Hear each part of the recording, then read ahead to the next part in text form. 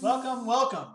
We are playing War for Throne 1, the original. Um, in this variant, you have 20 pawns, not 21. The king is more centralized than it is with War for, War for Throne 2. And of course, the center, the space in the center is more limited. It's four squares as opposed to 16. Um, so the strategy or the typical strategy that we see in the War for Throne 2 variant mostly still applies. There are a few other things. Um, in general, I find that getting to the center first uh, or maintaining a defense of the center is um, is advantageous here because it's easier to defend the center.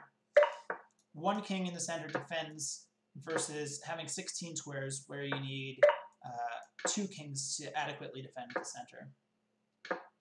So, uh, race to the center, I won that, which is good. My next step is going to be to provide support to that king.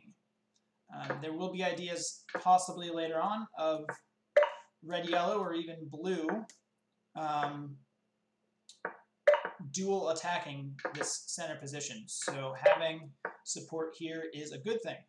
Of course, this is intimidating to red, as we see a reaction there. Um, I'll capture. Yeah, so right away, um, these tactics coming into the game.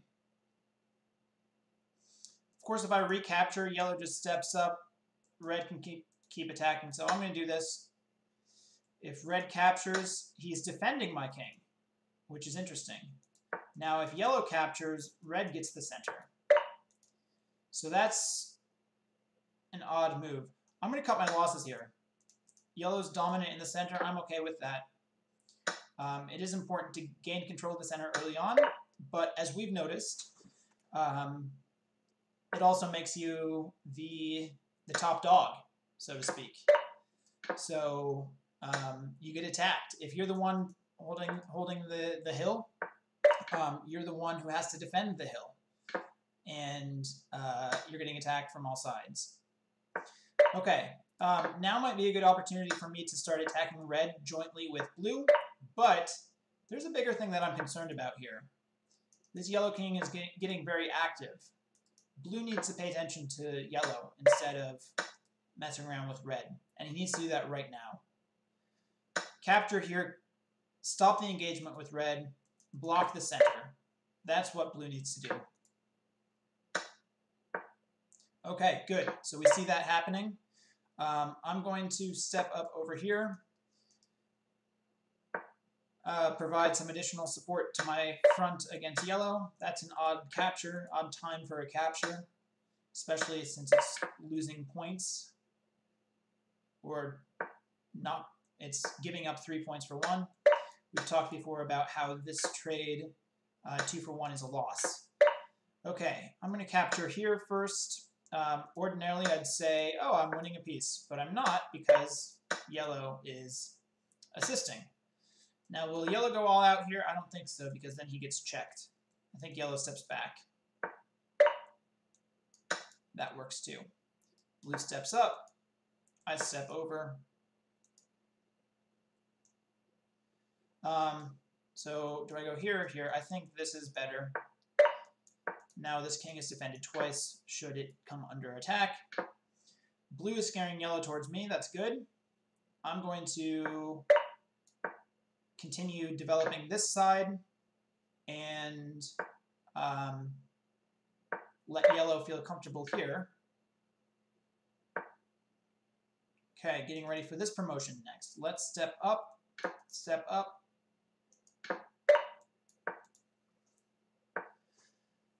Uh, I think one step here is good. Promote. Okay, not promoting. Now I get to promote.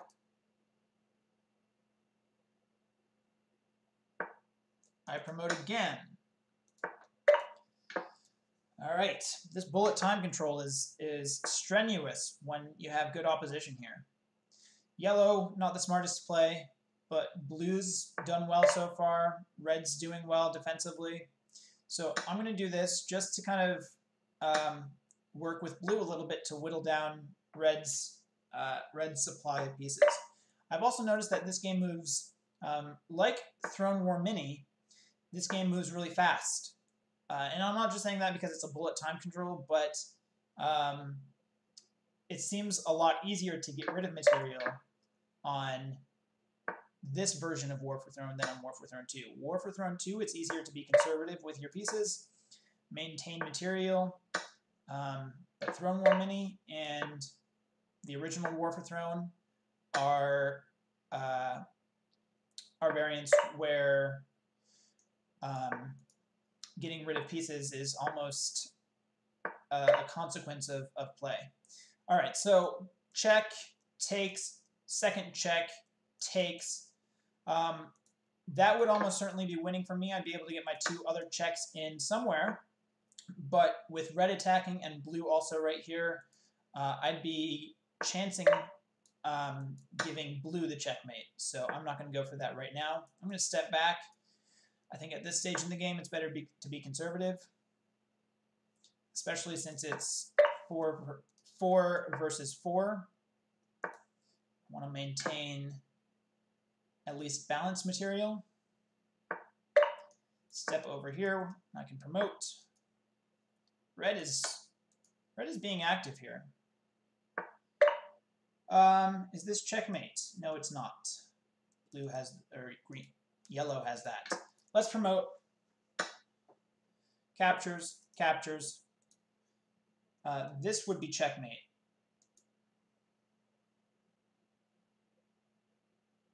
So, let's see if I can get a checkmate instead.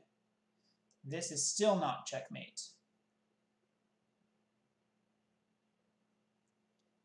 If I pull back, now a move here from blue would not be checkmate. Okay, so in order to prevent checkmate, I need to go back. Now yellow has that square available, and I get the checkmate. Is that correct? Um, no, I don't get the checkmate because there, there, and there are available. Uh, let's do this. Blue can stalemate.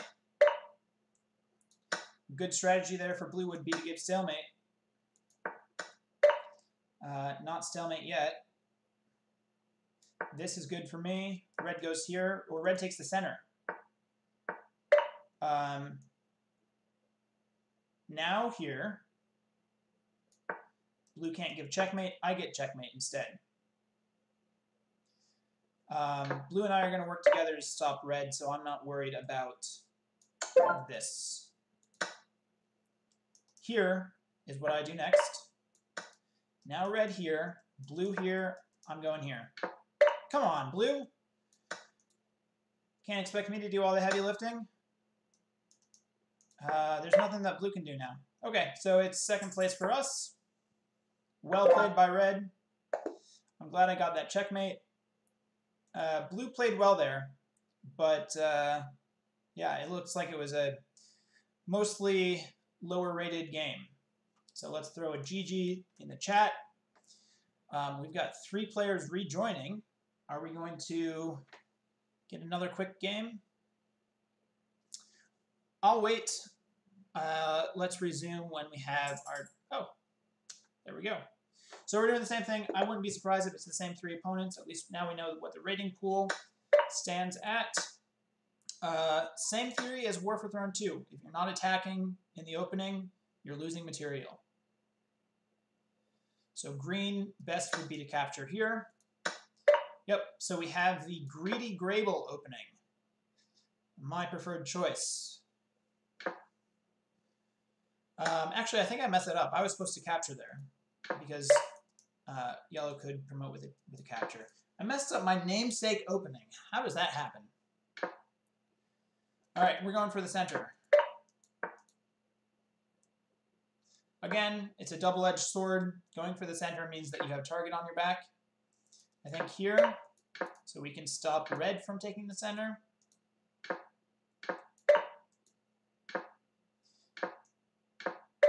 Promote. Maybe we get center after all. Or yellow's going to get the center, I guess. Okay. Yellow still getting the center. Here.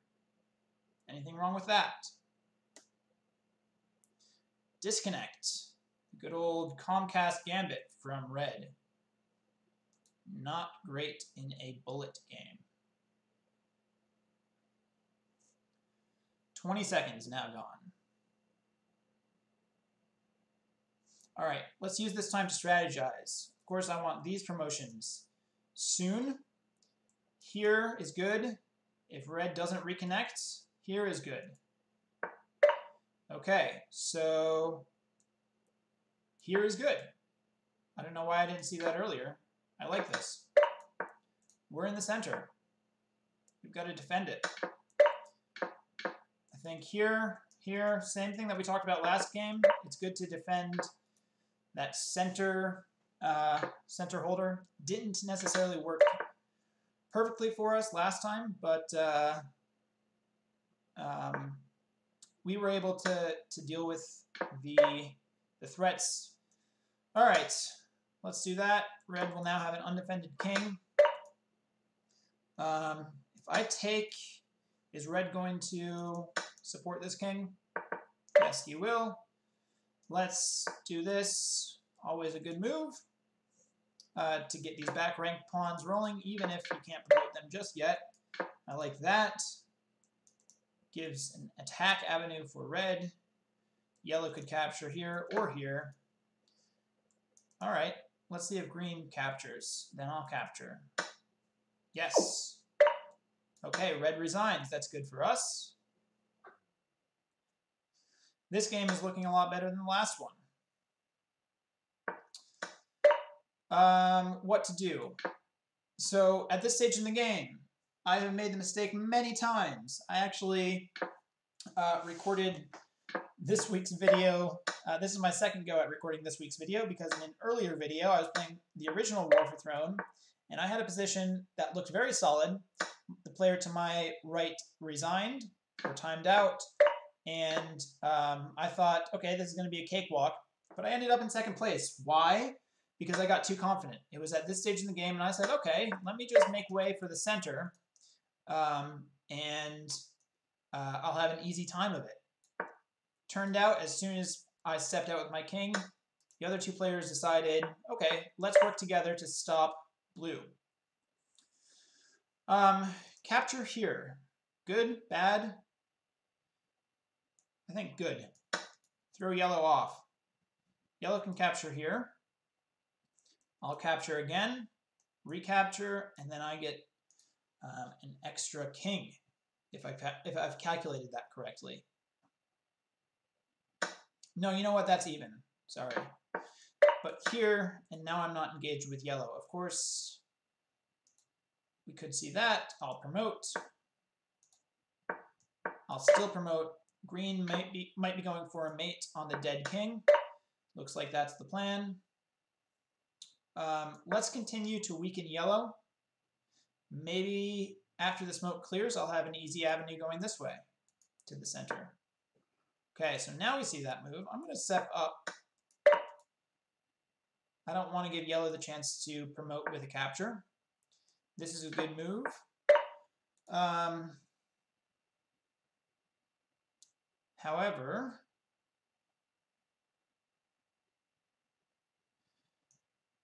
Uh, let's capture here first.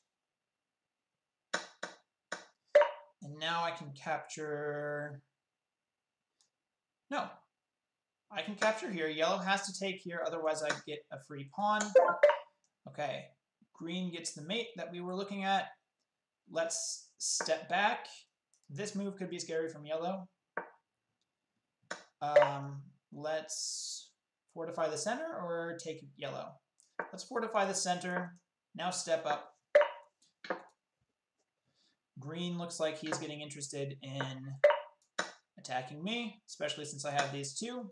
I'm the top dog, need to be taken down. We'll get some promotions going over here.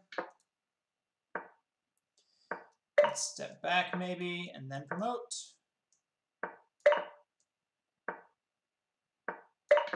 Continue to promote. This dead king is annoying. All right, these moves are basically on autopilot. I want to promote, I want to have resources to defend against green, I want to complete development. Yellow, losing time. Maybe that's our winning idea. Drain the clock from yellow. Let's step back. I don't necessarily want to trade with green because then I'll be weak against yellow. Oh, I should take advantage of this trading going on. Let's step over here. Okay, yellow's down on time. That's what we wanted. Of course, green could go for mate on yellow, which would put me in second place after a claimed win. I'll take here. Um, I'll step back. Okay, good. Yellow had different ways he could go. I'm glad that it turned out that way. I don't necessarily need to give checkmate to yellow right now, but I want to make sure that yellow's not going anywhere where green can get the checkmate. Let's step back. Let's have defenses. Let's step over. Let's give a check. Let's step back up. Take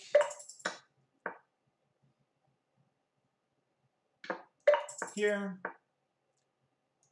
Give a check and give another check. Take and step over. Here. Here. We're doing all right. Sound effect is getting mildly annoying but that's the way it is. All right, so now how do we convert this is the question. I think uh, we pull our resources over this way. Let's trade some with green on the queen side. I'll recapture here. I don't need two kings in the center.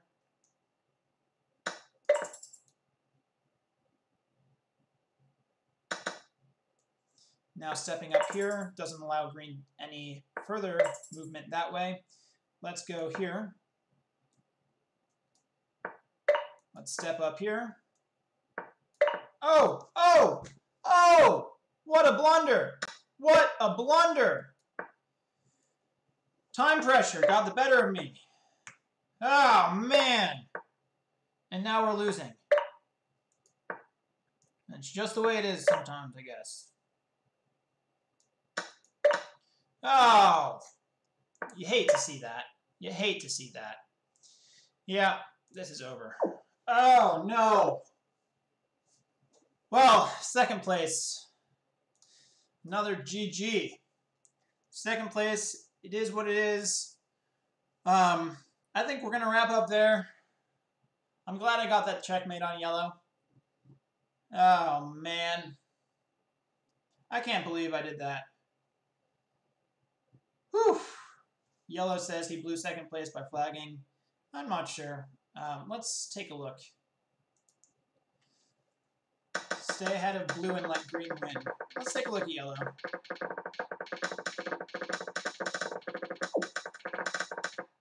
So, was yellow ever in a position where he was in contention for second place? Maybe. Maybe. I will concede that uh, had yellow let green win and focused his resources on me, that uh, I would have been in third place. So I will accept that, um, but the the way that I think about it is, you know, you always say, oh, if I hadn't lost on time, then this. But here's the argument. If you had all the time in the world, you'd play a lot better. You know, you're, you're playing a bullet game. The level of play has to be at a level, at a, at a bullet level. So, um, losing on time does, is not, you know, a get out of jail free card. It just means that uh, you were playing better moves, but also spending more time thinking about it. So you can look at it the same way. You can say, oh, I lost on time. but you also need to realize that if you had more time, you would have played better moves. Anyway, that's always my, my go-to argument. That's the video for this week. Uh, War for Throne Original will also be in the War for Throne Mega Match. So we've got uh, about a month before those qualifiers start, a little bit less. So uh, I would encourage you all, if you're planning on playing in the War for Throne Mega Match, to study these games as well. Play these games. Um, War for Throne Original and Throne War Mini uh, play important roles in that mega match as well. Um, if you're only good in, in War for Throne 2, uh, you'll do well, but uh, you're not going to win it. Anyway, uh, that's the video. Like I said, thanks for watching. Hope you enjoyed. Uh, we see you all